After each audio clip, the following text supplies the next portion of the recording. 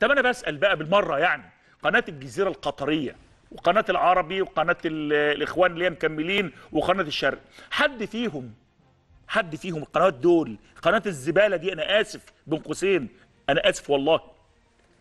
القناة دي جابت سيرة الممثلة الأمريكية باريس هيلتون.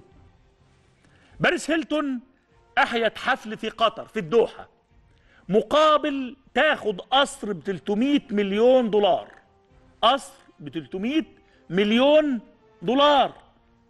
آه 300 مليون دولار. عشان تحيي حفل هو ده القصر. هي اللي مصوراه ومش مصدقة.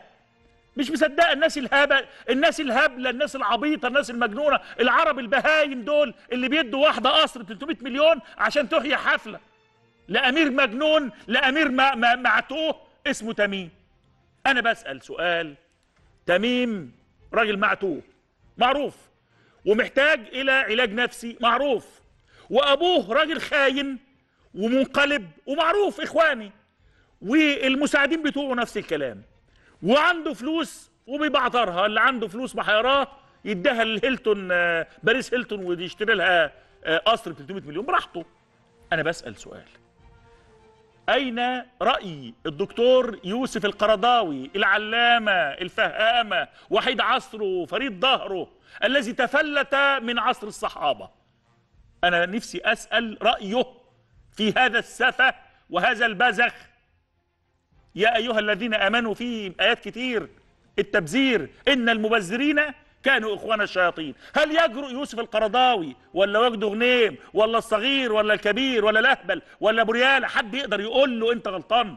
حد هيقدر من دول يج- يجرؤ يجيب اللقطة دي والست دي ويقول يا جماعة إنه ده تبذير؟